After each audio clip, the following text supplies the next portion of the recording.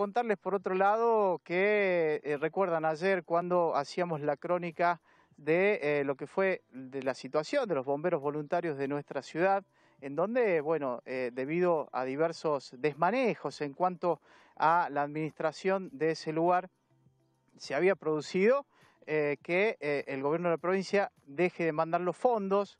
y hay nuevas autoridades que quieren asumir, hay bomberos voluntarios que quieren,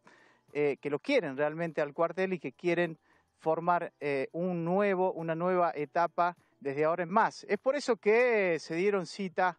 eh, a, la, comunidad, en realidad a través de un programa radial de nuestra ciudad, hicieron una colecta en donde destacar, destacar la participación solidaria de todos los metanenses. Se han juntado alrededor de en una hora aproximadamente 59.400 pesos para que eh, los bomberos puedan empezar a eh, realizar algunas tareas dentro de lo que es, o, o, poner en forma, si se quiere, este, este cuartel para poder atender las necesidades de los metanenses.